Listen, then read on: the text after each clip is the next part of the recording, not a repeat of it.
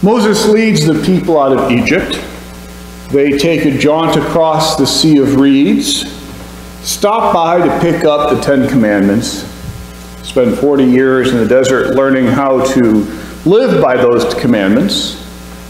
Moses hands off to Joshua, they go into the promised land, and then that's, that's the promised land. They live in the promised land, and here comes King Saul.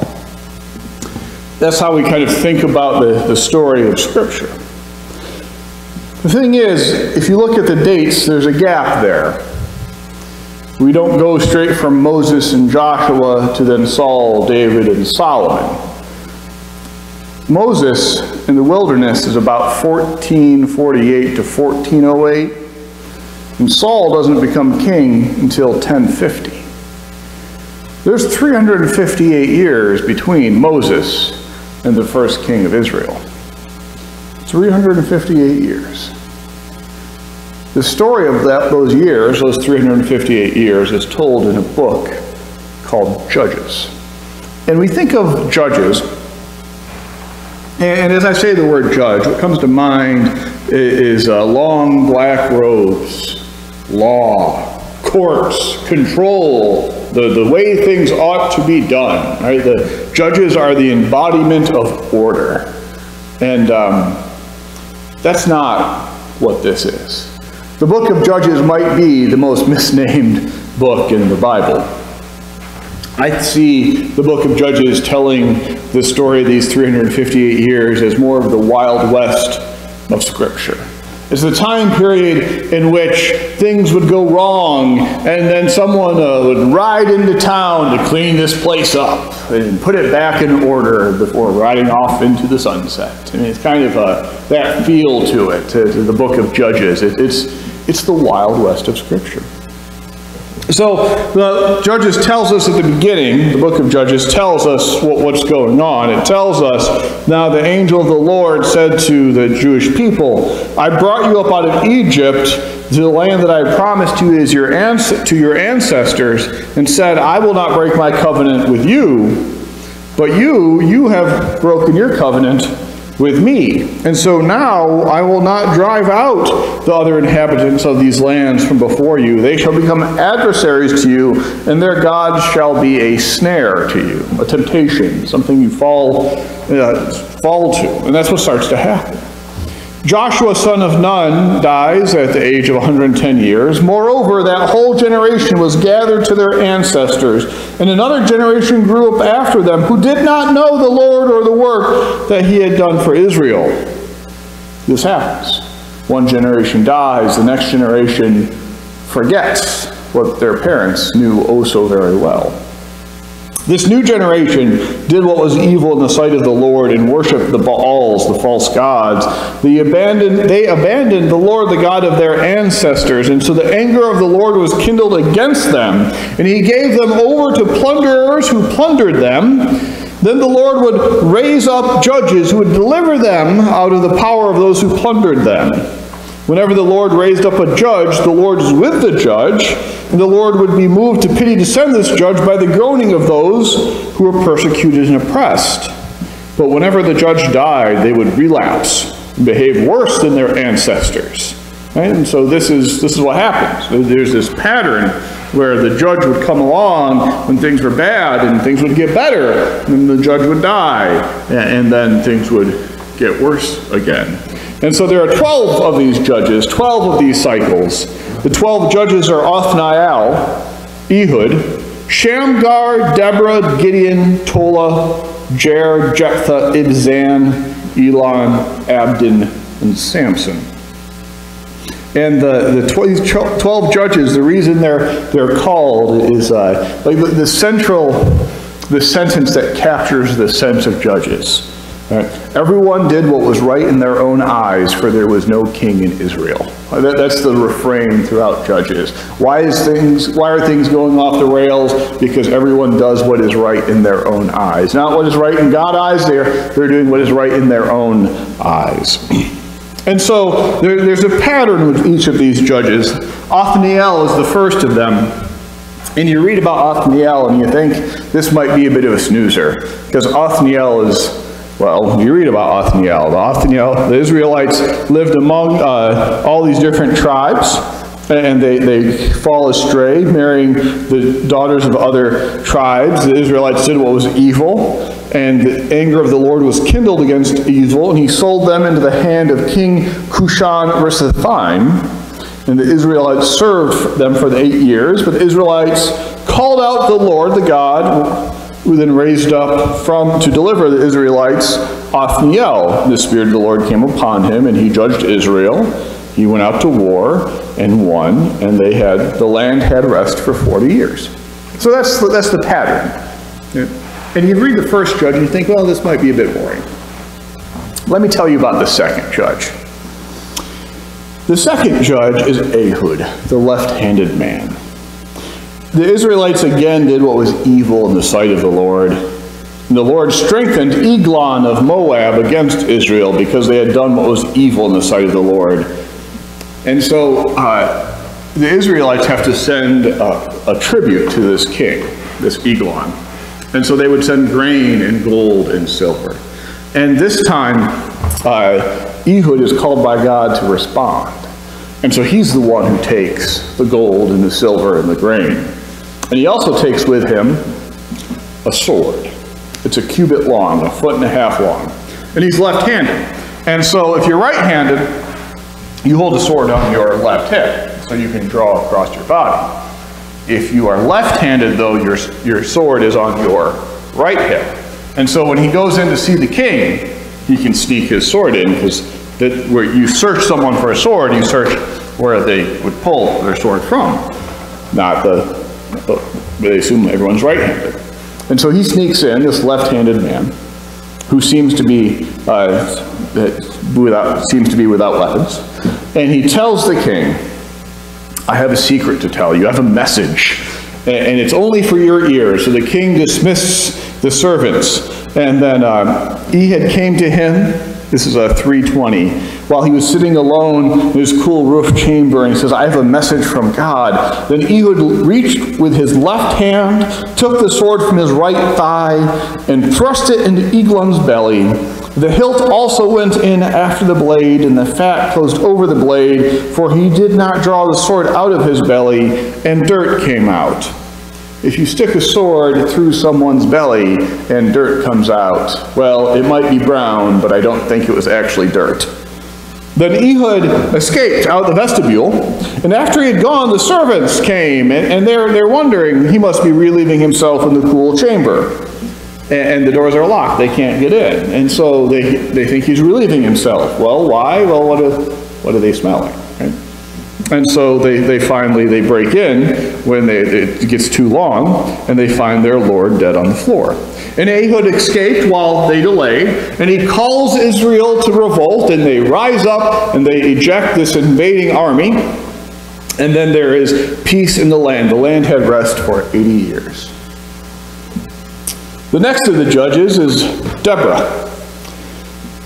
The Israelites again did what was evil in the sight of the Lord after Ehud died. And so the Lord sold them into the hand of King Jabin of Canaan. And during this time, Deborah was the judge. Deborah judged sitting underneath a palm tree between two towns. People would come to her to bring uh, concerns or questions, and she would judge between them. She would tell them what needed to happen.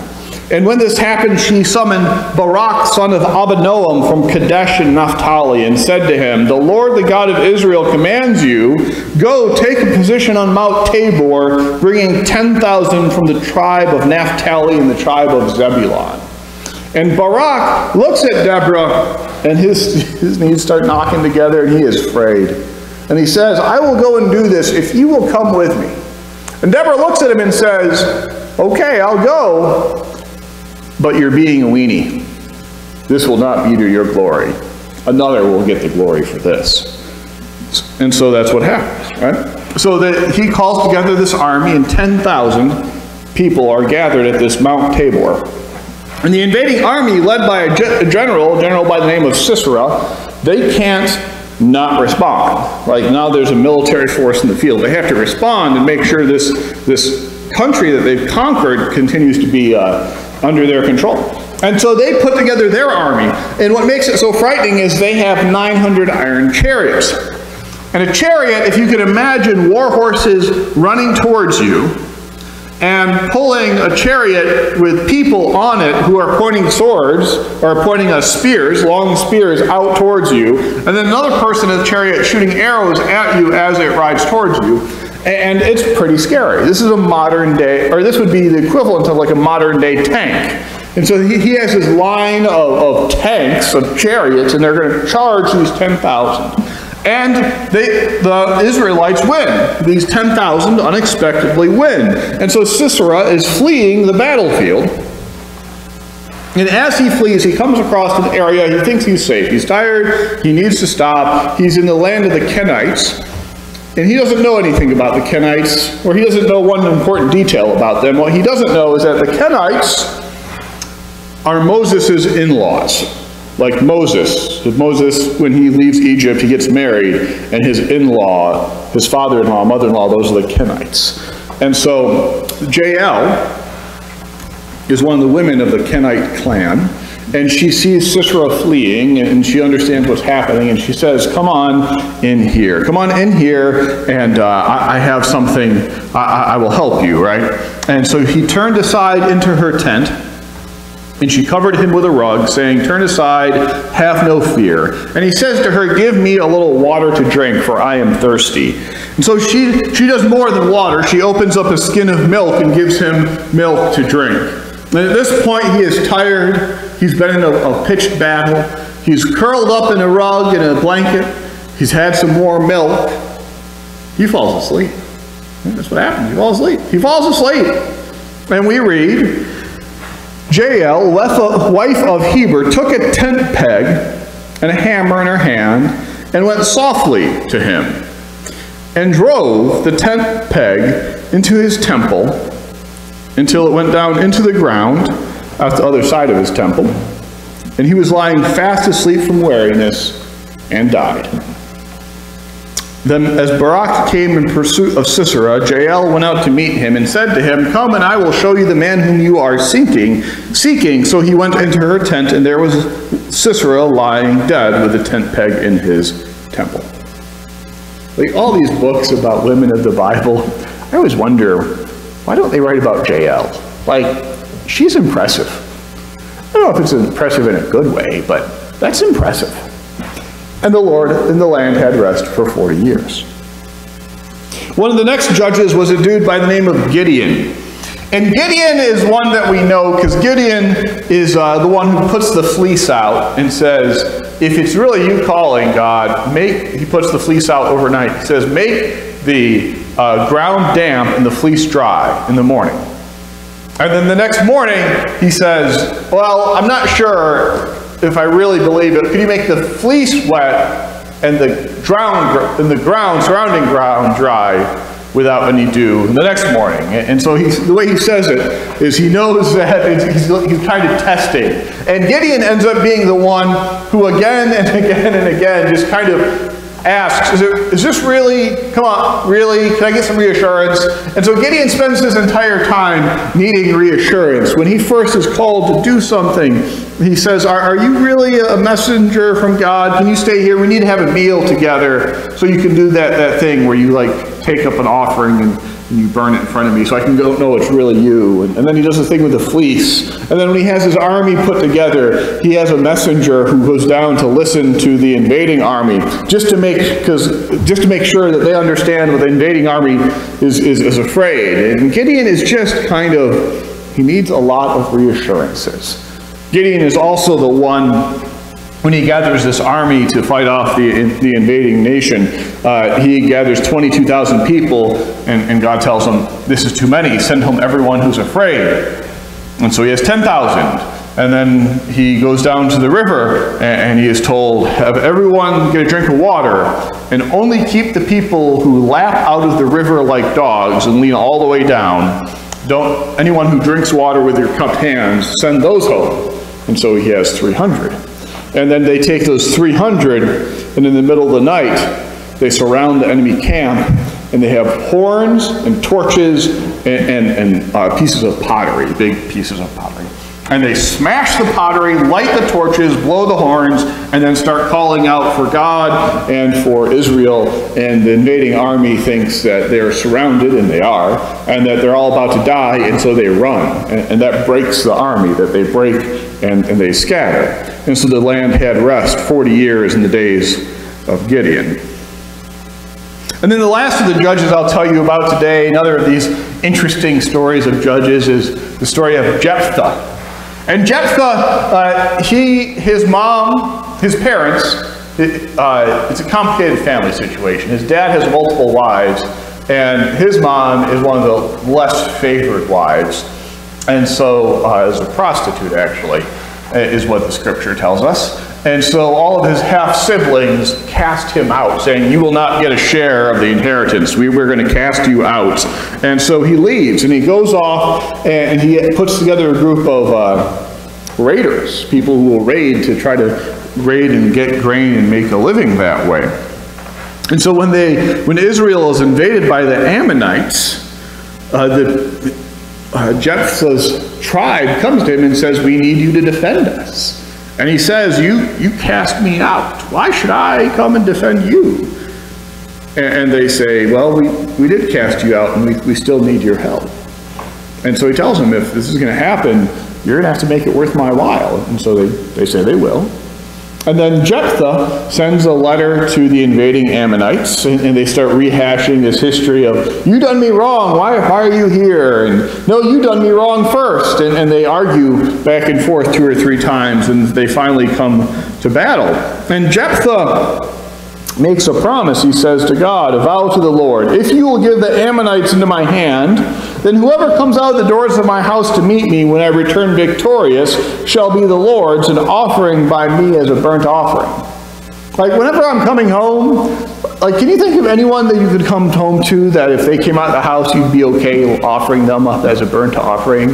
Like, the cat would be a, that would be a shame. I'd miss my cat. I like my cat, but like, any, any, like, that's, that would be the, the worst of, of the, this, that would be like the least bad option, right? If you just think about what he's saying, this is just a horrible idea. There's no way that this is going to go well for him. And, and this is the vow he makes. It's not what God is asking for, a sacrifice, but that's what he, vow he makes. And so he, he wins against the Ammonites and he goes home and his daughter rushes out to greet him and he looks at his daughter and he says, Alas, my daughter, you have brought me very low. He's blaming her. He's the one who made the stupid vow. You have become the cause of trouble for me, for I have opened my mouth to the Lord and I cannot take back my vow. And she says to him, My father, if you have opened your mouth to the Lord, to the Lord, do to me according to what has gone out of your mouth. And she said to her father, Let this thing be done to me. Grant me two months so that I might go and wander on the mountains and bewail this fate. And that's what, that's what she does. She goes and bewails for two months.